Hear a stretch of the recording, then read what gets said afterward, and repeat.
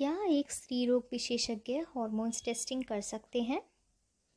आपका स्त्री रोग विशेषज्ञ आपके ब्लड या यूरिन सैंपल को लैब में भेजकर आपके थायराइड, टेस्टेस्टेरॉन एस्ट्रोजन कॉर्टिसोल और अन्य हार्मोन्स के स्तर की जाँच कर सकते हैं।